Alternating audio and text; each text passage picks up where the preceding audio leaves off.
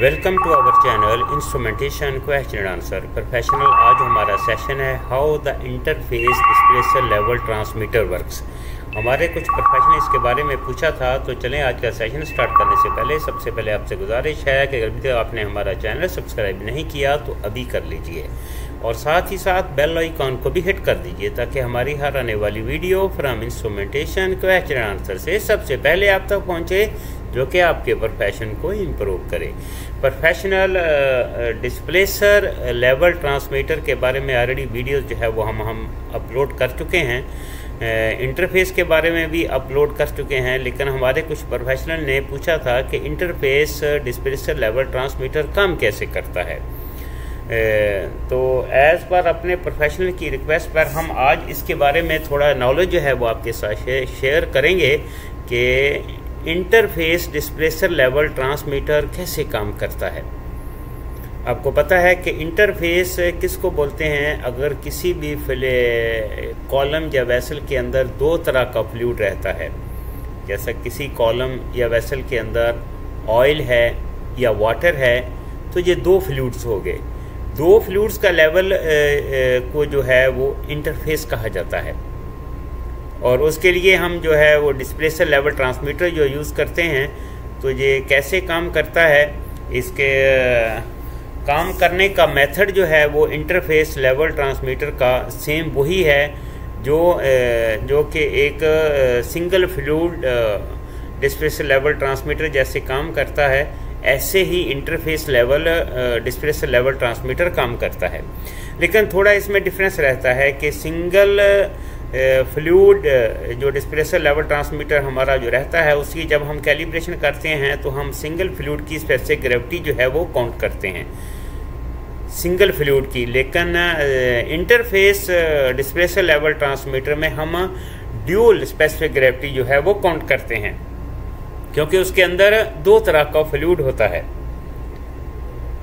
इसीलिए इसको इंटरफेस कहा जाता है तो वाइल कैलिब्रेशन वाइल कैलकुलेशन तो हमें ये दोनों फ्लूड की स्पेसिफिक ग्रेविटी जो है वो हमें काउंट करनी पड़ती है, तब जाके हम इसको कैलिब्रेट कर सकते हैं। लेकिन इसके काम करने का मेथड और वर्किंग प्रिंसिपल वही है, जैसा कि एक single fluid displacer level transmitter जो है, वो काम करता है।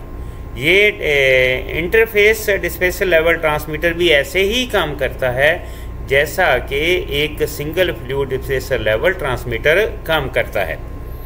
अभी आज हम थोड़ा सा डिटेल से आपको बात करते हैं एक्सप्लेन करते हैं कि जो है वो डिस्प्लेसर लेवल ट्रांसमीटर यहाँ बात आ जाती है इंटरफेस की। तो इंटरफेस और single fluid displacer level transmitter का वर्किंग प्रिंसिपल एक ही है। डिफरेंस इसमें यही होता है कि इंटरफेस में ड्यूल फ्लूड है और सिंपल जो डिस्प्लेसर लेवल ट्रांसमीटर रहता है, इसमें हम सिंगल फ्लूड जो है, वो उसमें होता है। जैसा कि भी आपने देखा होगा कि एक सी के अंदर एक शिप होता है, और शिप जो है, वो पानी के ऊपर जो है, वो फ्लोट कर रहा होता है, वो डूबता नहीं है। यानी कि हालाँकि ये एक मेटल का ये बना हुआ ये शिप है, और इसका बहुत वज़न जो है, वो टन्स के हिसाब से होता है तो इसको डूब जाना चाहिए। लेकिन ये नहीं डूबता।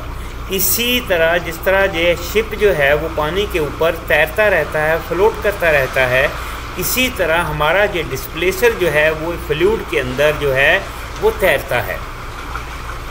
बहुत सारी जगह पे ये क्वेश्चन पूछा जाता है कि डिस्प्लेसर और फ्लोट में क्या फ़र्क होता है। तो फ्लोट के बारे में हम जो है, वो लेटर में कुछ वीडियो इसके ऊपर बनाएँगे।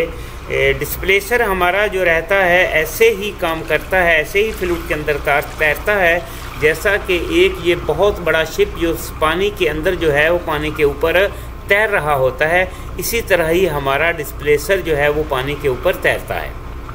और इसके तैरने के जो हैं जो तीन रीजन्स हैं इसकी, हम आपको वन बाय वन जो है, वो एक्सप्लेन करते हैं कि इसकी तीन रीज़न जो हैं, वो कौन कौन सी हैं।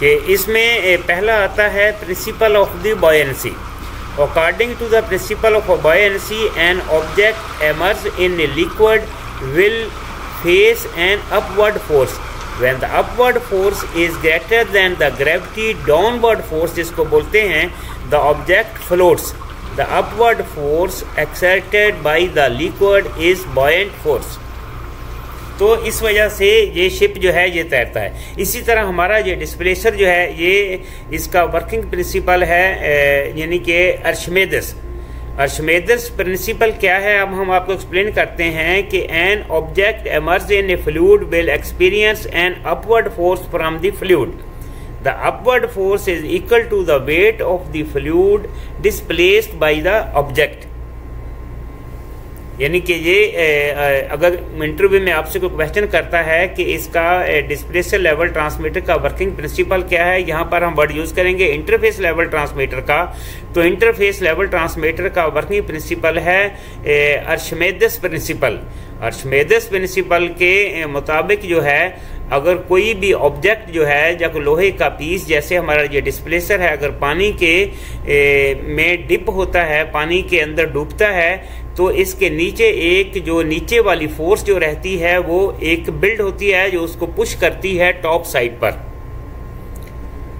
जिसको जो है वो अर्शमिदस फोर्स कहा जाता है। और ये फोर्स जो होती है, उस वज़न के बराबर जो जितना वो फ्लू जो उस ऑब्जेक्ट का वज़न जो है, वो उस वज़न का उस फ्लूड का जो सॉरी उस ऑब्जेक्ट का जो वज़न है, उस वज़न के इक्वल जो रहती है, जो हमारी डाउनवर्ड फोर्स जो रहती है, वो होती है। तो उम्मीद करते हैं कि जो आज का सेशन आपके लिए काफ़ी हेल्पफुल होगा। और नेक्स्ट पर हमारे प्रोफेसर ने पूछा था कि इसकी ड्राई ड्राई कैलिब्रेशन कैसे करते हैं? तो इसके बारे में हमारी ड्राई कैलिब्रेशन डिस्प्रेशर लेवल की ऑलरेडी सिस्टम में पड़ी हुई है। आप इसको वॉच कीजिए ताकि आपका कंसेप्ट जो है वो क्लियर हो जाए। तो उम्मीद करते हैं अच्छा सेशन होगा आपके लिए। मिलते हैं नेक्स्ट वीडियो में। Have a nice day